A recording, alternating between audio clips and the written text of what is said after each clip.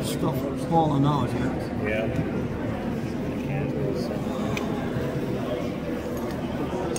Now this one, some ambitious technician has written 88.9 hours.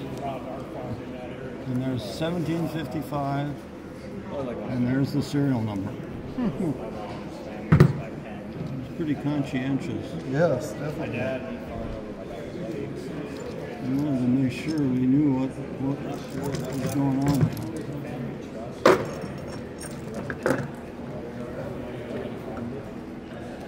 I don't know if I can get it out, but I'll try. There's a powdered metal plate with the shoes, these the shoes. yeah.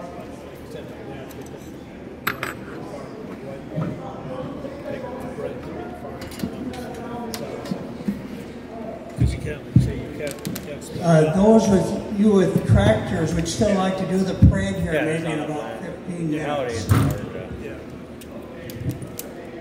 You got- Nowadays you got like you renting and buying a lot of You just have to. Like my mom, she has a family. It was just like 100 acres.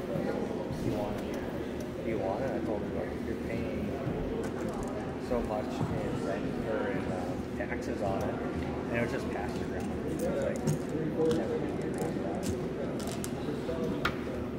My dad used to always buy cars down at upside down Chrysler dealer Yeah. at that time. My father always said, well, I know there was a lot of people with NDSU, but do you ever remember the guy by the name of John Graff?